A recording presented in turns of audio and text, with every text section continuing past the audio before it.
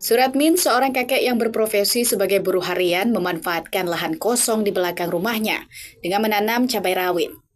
Uniknya, sebanyak kurang lebih 20 batang tanaman cabai rawit dengan usia lebih dari tiga bulan tersebut ditanam Suratmin di dalam wadah, box kulkas bekas yang ia dapat dari tempat penampungan barang bekas. Hampir setiap sore, Suratmin yang ditemani dua orang cucunya selalu memanen cabai rawit yang sudah masak dan dikumpulkan untuk dijual.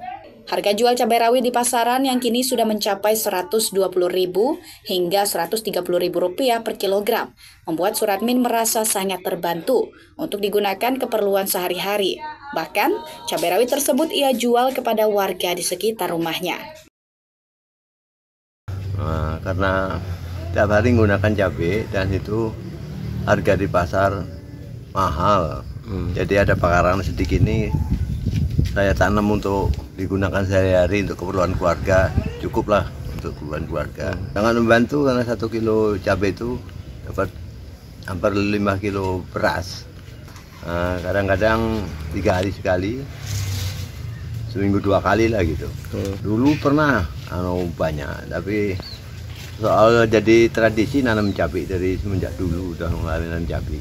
Hmm. tindak kita heran? Ini di dalam bekas kulkas yang direparasi kan dalamnya ada gabusnya tuh. Jadi gabusnya itu diisi dengan tanah. Bercocok tanam ini sudah menjadi kebiasaan kakek Suratmin sejak dulu. Tak hanya cabai, pekarangan rumahnya pun biasa ditanami berbagai sayur-sayuran. Kebiasaan Suratmin ternyata sangat bermanfaat bagi pemenuhan kebutuhan cabai dan sayuran keluarganya. Selain itu, Suratmin juga mendapatkan keuntungan dari cabai yang ia jual ke warga sekitarnya. Dari Kabupaten Bangka, Firmansyah TVRI Bangka Belitung melaporkan.